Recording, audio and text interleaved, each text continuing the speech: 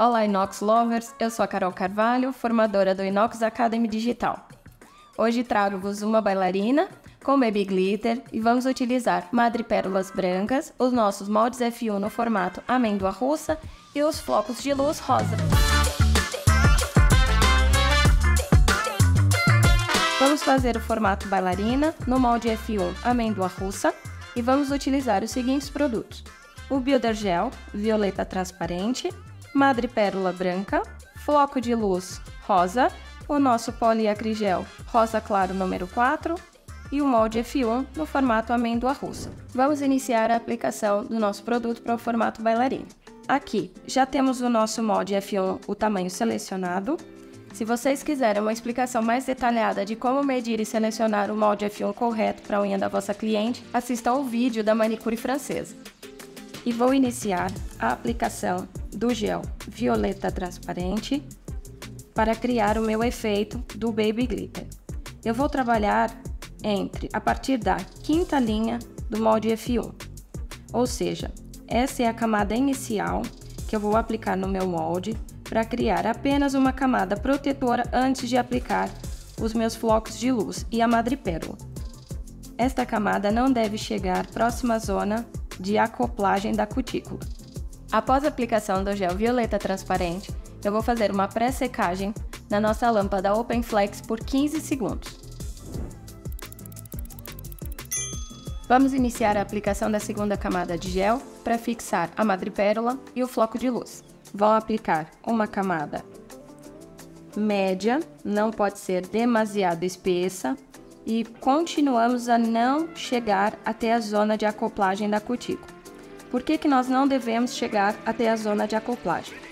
Porque vai criar um degrau de produto e na hora que formos fixar o molde F1 na unha da cliente, vai criar um grande desnível e nós não conseguimos acoplar exatamente no nível correto. Após aplicar o gel, eu vou utilizar o nosso aplicador de joias para selecionar a madrepérola no tamanho que eu necessito. Vou utilizar a madrepérola nos tamanhos menores, porque assim nós conseguimos fixá-las exatamente onde nós queremos. Se vocês não conseguirem encontrar logo os tamanhos mais pequeninos, vocês podem remover e quebrá-las manualmente. Eu gosto de aplicar a madrepérola mais na zona central do molde F1, porque é a zona que concentra uma maior quantidade de produto. E agora vou mesclar com os flocos de luz. O floco de luz vai nos dar o efeito do Baby Glitter. Então vocês podem colocar a quantidade ao vosso gosto, conforme gostam mais, e para que a vossa ponta fique mais camuflada possível com os glitters, com os nossos flocos. Façam também uma ligeira, um ligeiro degradê, para que não fique aquela barra marcando demais o, o vosso baby glitter, tá? Esse é o efeito que nós vamos ter na superfície, porém nós vamos aplicar o nosso poliacrigel e aí vai dar todo um contraste na vossa ponta.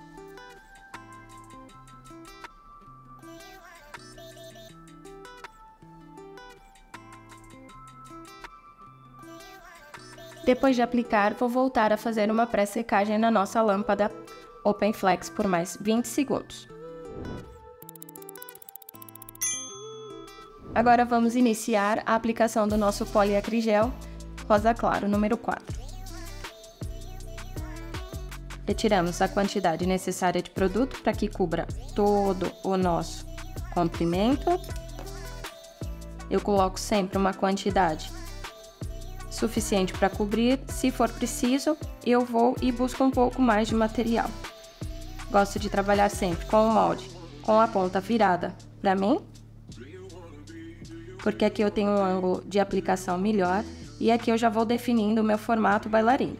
Vou cobrir toda a zona onde eu apliquei a madrepérola, os nossos flocos de luz e aqui eu já vejo que a minha estrutura tá ficar muito fina, vou buscar um pouco mais de poliacrigel. É preferível nós colocarmos uma quantidade menor do que tá a colocar sempre uma grande quantidade de produto e depois estarmos a remover. Volto a aplicar aqui na lateral e continuo a estruturar o meu formato. vamos ter sempre atenção às paredes laterais, que é a parte mais importante para que a nossa unha tenha estrutura e resistência para que não se parta. É um, infelizmente é um erro muito comum, até mesmo a seleção incorreta do tamanho do molde F1 e também a própria quantidade de produto que é aplicada. E já temos o nosso poliagrigel aplicado em todo o nosso molde F1, com o formato já definido, e vou aplicar na unha da minha cliente. Vamos posicionar o molde de forma que o molde fique reto. Vamos aplicar no ângulo de 45 graus, posicionamos cerca de 1 milímetro de distância da nossa cutícula, empurramos suavemente, fazemos uma ligeira pressão para baixo. Prefixamos o molde, seguramos na zona da cutícula e vamos fazer uma pré-secagem na nossa lâmpada Open Flex por 15 segundos. Como quando nós aplicamos o molde F1 na unha, às vezes temos que segurar na zona da cutícula, depois de fazer uma pré-secagem de 5 a 10 segundos, remova o dedo da zona da cutícula e continue por mais 10 segundos para fazer a pré-secagem. Depois de realizar a pré-secagem, nós vamos virar a mão da nossa cliente e verificar como é que está a parte interna da unha. Se houver excesso de produto, fazemos a remoção do mesmo com o auxílio de um pau de laranjeira. Neste caso tem um pouquinho a mais aqui de produto, talvez não seja necessário remover. Vamos nivelar aqui a parte interna da nossa unha, se for preciso, eu removo, mas penso que não. Vou precisar aqui somente uniformizar as minhas paredes laterais. Como não houve uma grande quantidade de produtos na parte interna, eu vou somente nivelar com o nosso pincel. Vou estruturar bem as paredes laterais, tirar o excesso de produto que fica mais próximo do dedo para facilitar na minha limpeza e acabamento. E depois de nivelar toda a superfície interna, vou levar a secar por um minuto na lâmpada LED UV.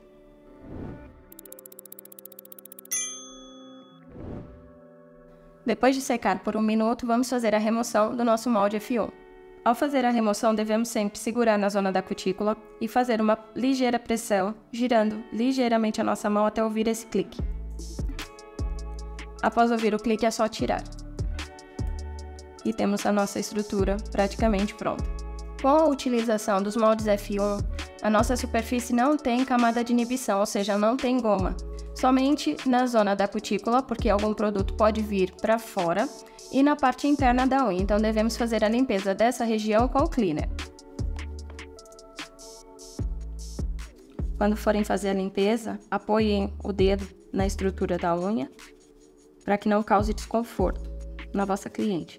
Após fazer a limpeza, vamos fazer a remoção das arestas das laterais remover o excesso de produto da zona da cutícula e na parte interna da unha. E para fazer todo o acabamento da unha, nós vamos utilizar a broca cônica estreita, número 14, a nossa lima Alfimol grão 100-180 e o nosso buffer 80-100. E vou iniciar então o acabamento da minha unha. Utilizando a nossa lima Alfimol, eu removo toda a aresta, todas essas partículas de excesso de poliacrigel que ficam fora da nossa estrutura.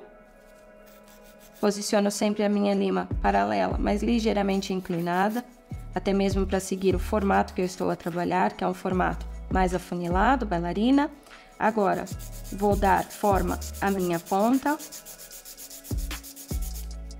Quando trabalho formatos de linhas paralelas, gosto sempre de virar o dedo da minha cliente de forma que eu veja bem se eu estou a limar a minha ponta reta, porque assim posso corrigir com mais facilidade. E agora vou iniciar a utilização da minha broca. Vou iniciar então a limpeza da zona da cutícula com a minha broca cônica estreita. Estou a trabalhar na rotação 12, sempre com cuidado para não causar nenhum trauma, nenhum corte na minha cliente Apesar que essa broca nos traz bastante segurança porque a ponta dela é totalmente arredondada, mas isso não quer dizer que a gente possa estar a insistir aqui muitas vezes. O resultado aqui deve ser a parte da cutícula toda limpa, sem desnível de produto, para evitar descolamento. Após feita a limpeza da zona da cutícula, nós vamos virar para fazer o acabamento da parte interna da unha. E continuo aqui o meu acabamento da zona da cutícula até que esteja tudo nivelado. E vamos virar para a parte interior da unha. Ao virarmos a mão da minha cliente, nós conseguimos ver que a parte interna está bem nivelada e que o acabamento aqui vai ser mínimo. E com o auxílio da minha ponteira, vou fazer a remoção de algum excesso de material que ainda esteja aqui. Se houver algum dente muito próximo ao dedo, eu com o auxílio do meu polegar puxo o dedo da cliente para trás, para que não queime.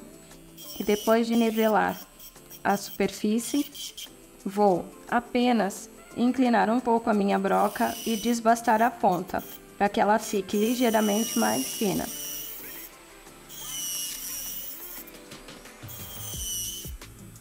Aqui já conseguem visualizar que a nossa ponta já está bem mais fina.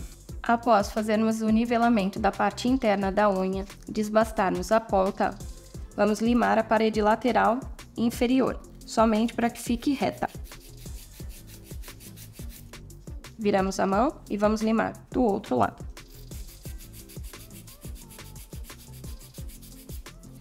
Tomem atenção nesta parte para não limarem demasiado e desestruturarem o vosso formato. Vamos passar o buffer em toda a superfície para suavizar a mesma e preparar a superfície para receber o nosso top coat.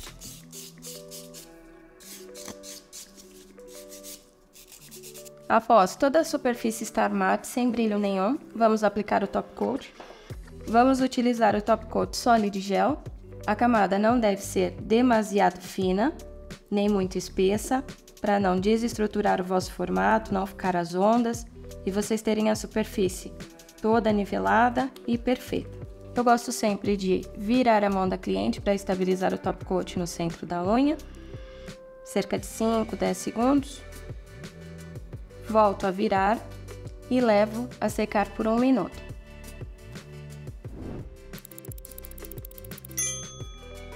E este é o resultado final da nossa bailarina com floco de luz e madrepérola.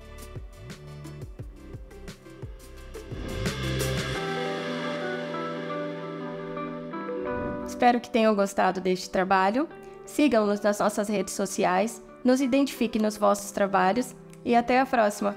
Bye!